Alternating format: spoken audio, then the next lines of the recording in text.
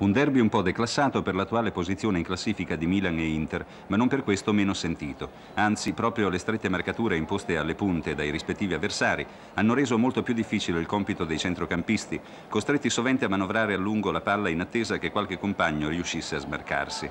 In questo settore però alcuni elementi un po' fuori condizione hanno commesso diversi sbagli, ragion per cui non si può dire che questo 162esimo sia stato un bel derby, anche se ha riservato ugualmente più di una emozione. In apertura di ripresa erano i nerazzurri a far registrare una certa supremazia. Ancora Cudicini, sebbene coperto, riusciva a parare in due tempi una conclusione lunga di Mazzola e poco dopo era graziato da Corso che metteva sopra la traversa, riprendendo al volo un lancio di Mazzola. A questo punto sembrava che l'Inter avesse la partita in mano, ma a rompere le uova nel paniere nerazzurro veniva il gol di Benetti.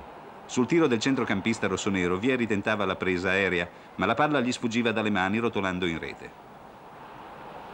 Comprensibile il gesto di stizza dello stesso Vieri per questo errore. Infine il gol del pareggio firmato da Boninsegna su lancio di corso. Di questo gol si parlerà forse a lungo, poiché rimane incomprensibile l'atteggiamento di Cudicini, avventuratosi in uscita nonostante la presenza di due suoi compagni nei pressi di Boninsegna.